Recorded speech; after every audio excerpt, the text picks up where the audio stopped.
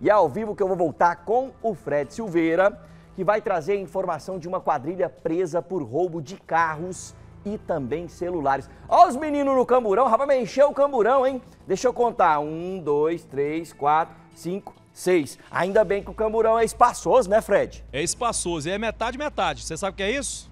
O que, que, é isso? Metade maior e metade do tal do de menor. Vim. Então foi três presos e três apreendidos. Exatamente, professor Branquinho.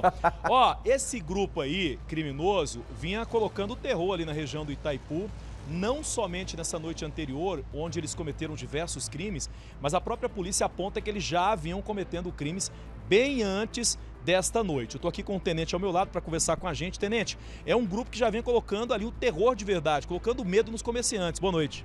Boa noite. É, levantamento feito pelo tático do 7 Batalhão, seis, seis indivíduos, como diz, três maiores de idade e três menores, eles realizaram no mínimo quatro roubos de veículo durante essas duas semanas e uma tentativa de roubo de veículo. Fora outros crimes também, de roubo a transeunte, levaram vários celulares que está na posse agora já da autoridade. Agora, tenente, eles tinham essa preferência né, na hora de cometer os crimes, principalmente muitos celulares, principalmente eles mais, esses mais modernos. Era, era o que realmente eles buscavam nesses crimes?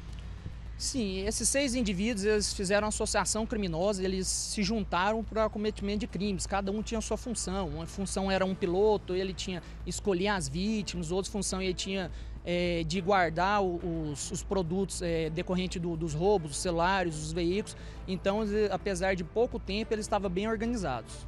Agora, tenente, ah, o recado que fica para a criminalidade e para a população na região do Itaipu. Agora podem ficar tranquilos que pelo menos esses seis aí foram tirados de circulação. Com certeza. A, o 7 Batalhão, que é a região do Itaipu, a gente trabalha diuturnamente, tentando combater qualquer tipo de crime, principalmente esses crimes mais violentos, que a população sente mais, que é a questão de roubo de veículo, a questão de roubo a transeunte, esses são os crimes que a gente tenta combater mais firmemente. Olha, tá aí, parabéns ao pessoal do sétimo lá, viu, Branquinho, a toda a equipe que tira de circulação esses criminosos, eram violentos, agressivos, é, paravam as pessoas na rua para cometer esse tipo de crime.